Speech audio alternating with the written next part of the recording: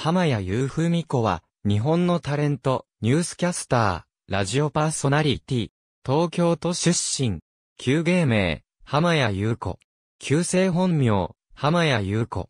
読み名は、すべて同じ。元夫は、J-Wave パーソナリティの竜。夫の母は、エッグアーティストで株式会社カリフォルニアファンシーエッグ、代表取締役の渡部和美。2歳から15歳までの期間をロサンゼルスとシドニーで過ごす。帰国後、東方女子中学校、高等学校を経て、独協大学外国語学部英語学科に入学。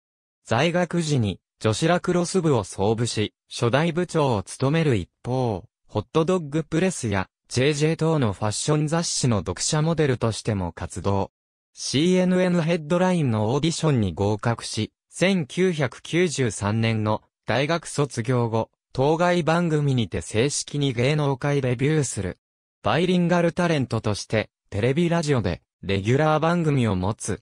後に芸名を、現在の、浜谷優文子に改めた。2000年1月1日、J-Wave の DJ であるリュウと入籍した。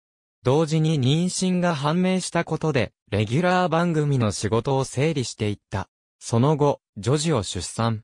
2005年4月及び2007年11月には、男児を出産した。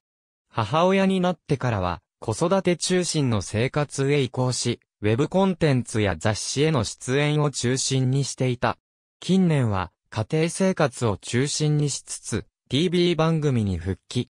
TV 出演の傍ら、英語のコーチング講師としても活動している。2018年7月7日、長女、渡辺玲奈渡辺玲奈がダンスボーカルユニット、アイズアイズの一員としてデビュー。2019年3月離婚。3人の子供たちのシングルマザーとなる。ありがとうございます。